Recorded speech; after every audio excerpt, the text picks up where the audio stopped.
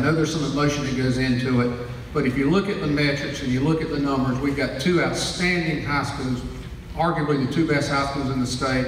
And and there's no reason, it's just in our DNA. The high expectations, the high achievement, there's no reason that we won't have the three most outstanding high schools. attendance area obviously has been reduced in area and also in terms of enrollment. And uh, uh, this area here, uh, which as I said includes Baxter and Willowbrook, Sutton Place, Wimbledon Woods, Mason's Bend, as well as the Kanawha development. And here again uh, is the map that shows uh, the uh, impact of uh, the residential development. In essence, again, runs along uh, Harris Road here, uh, you know, south along 77, cuts across here, uh, and extends upward or north uh, along Highway 21. Uh, This area, of course, you know, like option B, uh, you know, uh, Walden Park and some of the developments in that area under these two options would attend Catawba Ridge High School.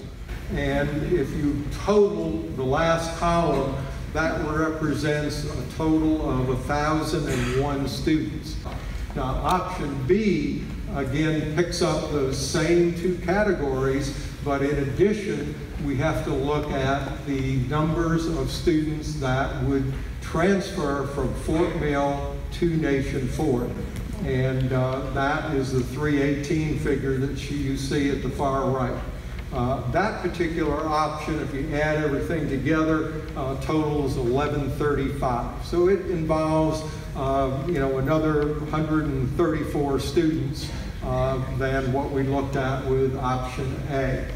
Why we're here. Uh, obviously, this slide is in a nutshell tells you we've been growing by roughly six percent annually, making us the fastest growing school district per capita in the state. We had over one thousand fifty new students this year. I'm proud to be able to be trusted enough to be the first principal of Catawba Ridge High School. But we've got the two best traditional high schools in the state of South Carolina. Um, and that doesn't come by chance.